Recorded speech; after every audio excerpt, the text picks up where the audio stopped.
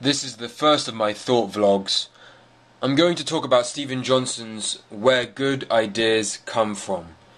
Most of these videos will be summaries of books I've read, although some will be just my ideas. For a long time I've been frustrated that I would read a lot of books but forget most of what I've read, and so I feel like this is a good way to not only take notes but also, in the making of these videos, get myself to think more about the material. In fact, part of the inspiration for these vlogs comes from the commonplace books which Steven Johnson talks about in this very book. I've divided the video into two sections. First is the theory, the big picture stuff, and second is the more practical stuff of how to be more innovative.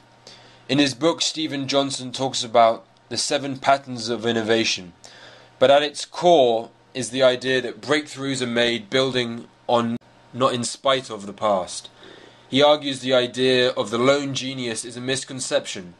We are often tempted to imagine a gifted mind somehow seeing over the detritus of old ideas, and ossified tradition, but ideas are works of bricolage, they're built out of that detritus.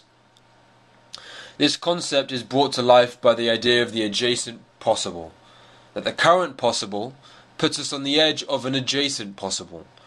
Once that adjacent possible is achieved, it opens up further possible, possibilities for innovation. A computer programmer in 1904 can do absolutely nothing. A computer programmer in 2004 can build Facebook. Zuckerberg didn't need to invent the computer because someone else did that for him. Breakthroughs enabling yet more breakthroughs building on top of itself and defined, as Johnson compellingly puts it, by the knowledge you no longer need to have. An example of this is the baby incubator, where the high cost and difficulty in repairing mean that this innovation was closed off from the developing world. The people at NeoNurture came up with a solution to build a baby incubator out of car parts because, after all, people in developing countries had no problem fixing their cars and so should have no problem fixing their NeoNurture baby incubators. What this illustrates is the idea that innovations are born out of their environment, in this case, quite literally using car repair skills to enable repairs of incubators. The second concept is the idea of liquid networks. The question, of course, is how to get to the adjacent possible. Johnson's model of innovation is basically one of making new connections and what you want is an environment where new connections are made. The analogy for this is the different state of matter. On the one hand is a solid where there is a lot of structure and not that much opportunity to make new connections, and the other is a gaseous environment where everything is too chaotic.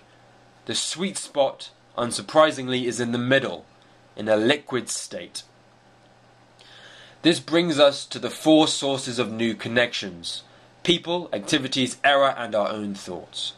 Kevin Dunbar, a University of McGill researcher in the early 1990s, was frustrated by accounts of innovation that often seemed too simplistic or inaccurate.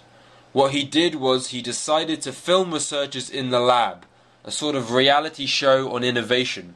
And studying the video, he found that the breakthroughs came not when the researchers were working alone, but rather at the conference table, where other people could challenge assumptions and offer fresh perspective from different disciplines.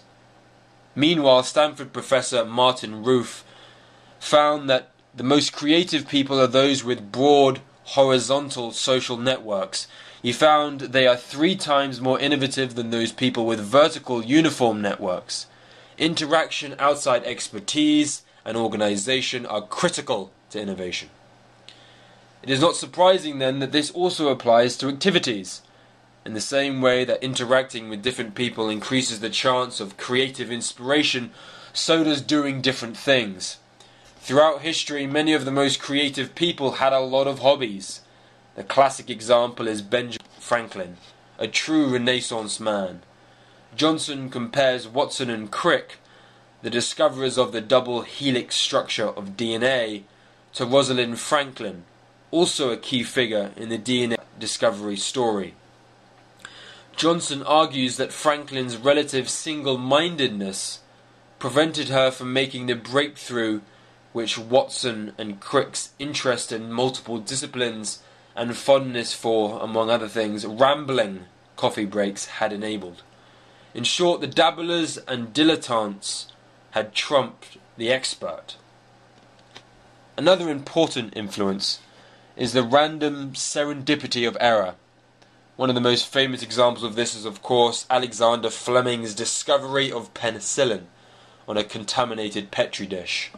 Another example could be the error that is at the heart of the genetic variation that drives evolution.